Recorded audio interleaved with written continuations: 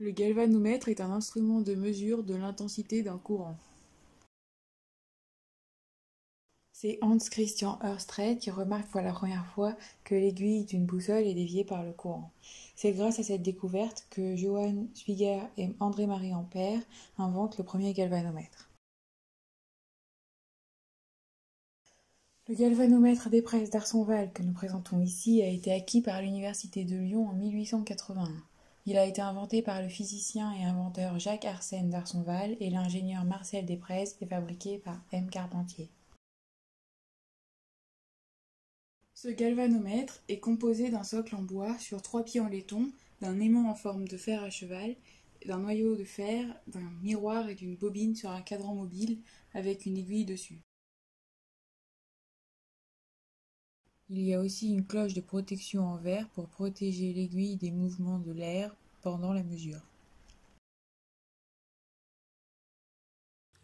Lorsqu'aucun courant est appliqué, la bobine est à l'état d'équilibre. Elle se trouve dans le plan de l'aimant. Lorsque l'on induit un courant dans le galvanomètre, un champ magnétique va se former entre l'aimant et le noyau de fer. Et donc, la bobine va s'orienter dans le même sens que le champ magnétique, proportionnellement à l'intensité du courant qui la traverse. Ce phénomène est dû aux forces de la place. L'aiguille indique l'orientation de la bobine en degrés par rapport à sa position d'équilibre. Il suffira d'une règle de 3 après le talonnage de l'appareil pour avoir la valeur du courant. On a le mouvement de la bobine qui entraîne l'orientation du miroir.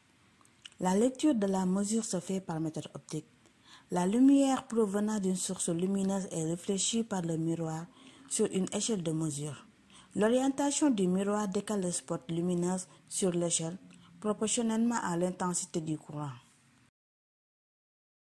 Le principe de fonctionnement est toujours d'actualité. Il est utilisé dans les ampèremètres modernes et en optique pour orienter des faisceaux laser grâce au miroir.